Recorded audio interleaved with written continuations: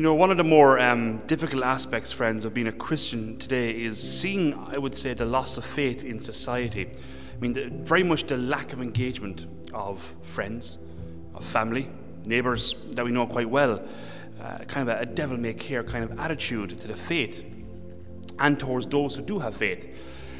And, you know, as a priest, friends, I come across two experiences almost on a weekly basis um, of people's lives that always saddens my heart, which I hear again and again. The first is those who are in the workplace, say.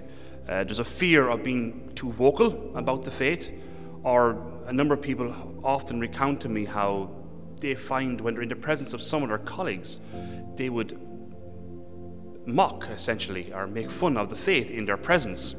And second is mothers who cry to me so often um, because they're saddened over the fact that their children or their grandchildren, they just don't engage with the faith at all.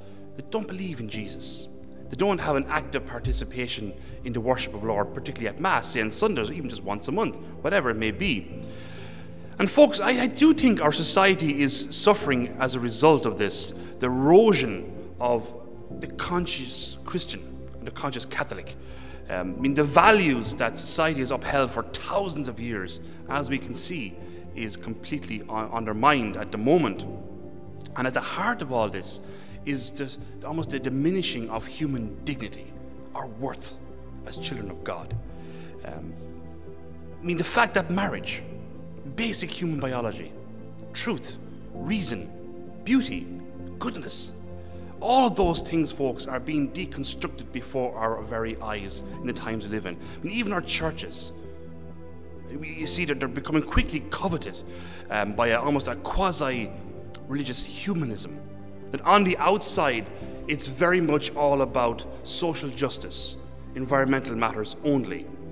Then from the ambo, it's about equality, it's about uh, diversity, which is replacing salvation the supernatural truth of our faith, and the defense, of course, of God's laws, moral laws.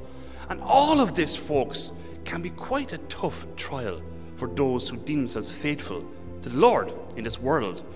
Um, it can cause so many a genuine pain in their heart. And I think as a result, folks, so many people they disengage. There's a temptation just to walk away, just forget about it. I'll do it my own way, which is sad, but it's quite a strong reality. And I believe, everybody, Our Lady, the Blessed Mother, she can offer us a sense of direction and some much needed hope uh, in order to stick with the Lord and His church. And her stamina, in particularly, is an important model we should try and take on board. I mean, folks, we're entering Holy Week now, starting from this evening onwards. A few days where we're the faithful of the Lord's church, we just come together and we re enter for want of a better expression, the events of the Lord's death on the cross and his resurrection from the dead. Mean, folks, there are a few days that can offer us a simple replenishment of our souls, hearts, and minds, which is much needed in the times we live in. A few days where the church is pretty much forced to speak and examine the supernatural truth and reality of the resurrection of Christ. Thank God for it. That's an event, as we all know, completely changed the world as we know and offers us a tremendous hope and reason Everybody, Our Lady herself experienced. Imagine the joy she experienced upon meeting her resurrected Son. And of course, before that, she stood at the foot of the cross. She had to stand at the foot of the cross, a place of agony, a place of torment, a place of confusion. And yet she stayed there. She didn't run away. She stuck with Christ even when all seemed hopeless or lost.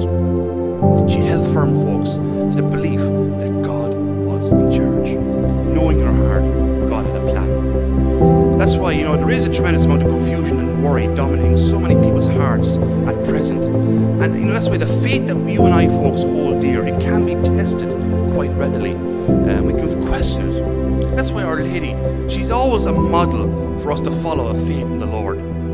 Her faith and her hope in God that He was in charge no matter how tough or difficult or how confusing it got.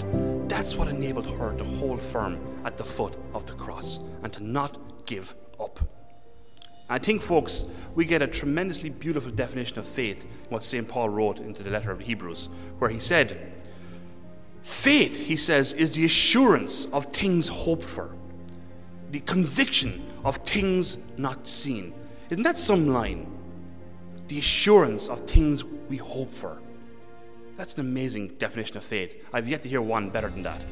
Folks, I would suggest to all of us and those of us online for your prayer for Holy Week this year, think about that, that definition of faith. With the prevailing and growing persecution of the Christian faith in society, and very much the lackluster response as a church, in this country anyway, that your prayer to the Lord is to increase your faith, your hope. That, that hope you have in God is assured for what Christ has done on the cross and from his rising from the dead. And to not run away. And be like John, welcome the Blessed Mother into your home, into your heart, and be the disciples our country needs. Our Lady, pray for us.